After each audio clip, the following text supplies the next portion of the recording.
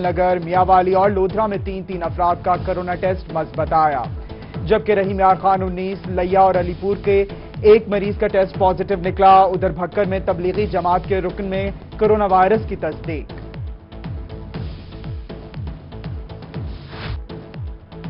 جنوبی پنجاب میں corona virus سے ایک شخص جاں بحاق بہاولپور کے چونسٹھ سالہ مریض کو چار روز قبل وکٹوریا ہسپتال کی ایمرجنسی میں داخل کروا دیا گیا تھا۔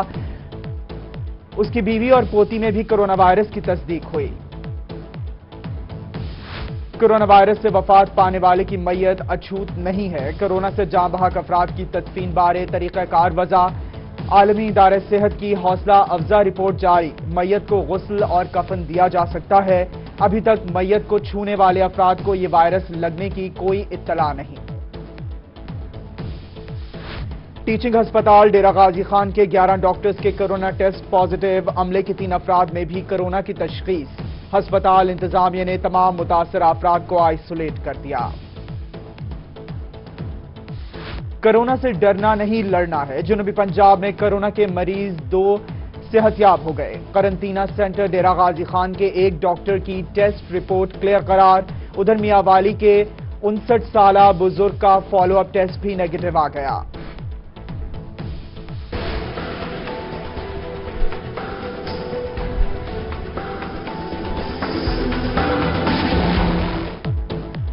جنوبی پنجاب میں لاک ڈاؤن ملتان، بہاولپور، رحیم یار خان، ڈیرہ غازی خان سمیت سرائے کے خطے میں چھوٹی بڑی مارکیٹس بند۔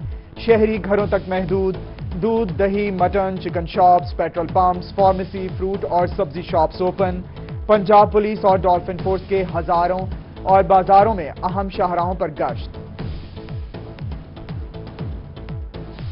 سستا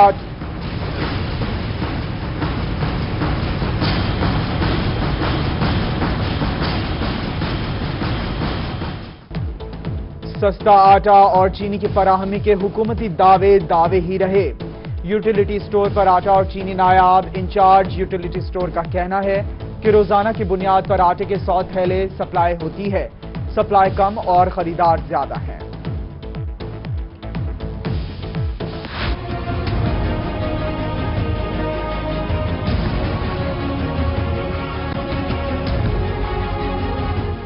ایک طرف بازار بند تو دوسری جانب اشیاء ضروریہ کی قیمتوں کو پر لگ گئے۔ ملتان شہر میں لہسن اور ادرک کی قیمتیں آسمان سے باتیں کرنے لگیں۔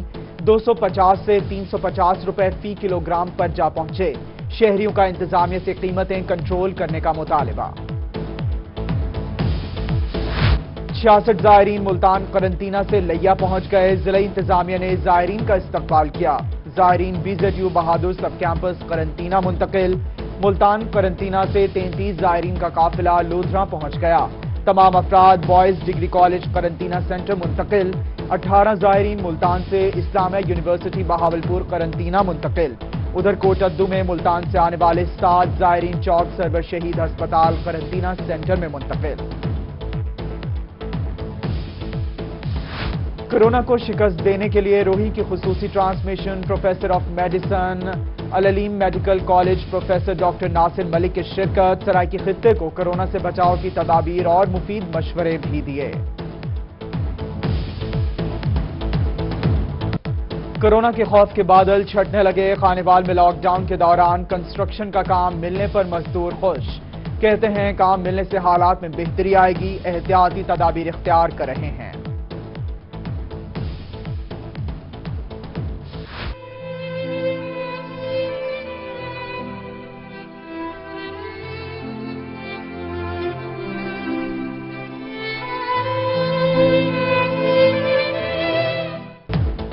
سرکاری ریلیف پیکج دہاڑی دار مزدوروں کی پہنچ سے تاحال دور، ملتان میں محنت کش چوک چوراہوں میں بدستور موجود۔ محنت کشوں کا سرکار سے مستحق مزدوروں کو جلد از جلد مالی امداد کی فراہمی کا مطالبہ۔ انسانی خدمت کی بہترین مثال بہاول نگر میں دعوت اسلامی کی زیر اہتمام free blood donation camp. Alipur میں بھی دعوت اسلامی کی زیر اہتمام تھیلیسیمیا کے مریضوں کے لیے بلڈ کیمپ لگا دیا گیا۔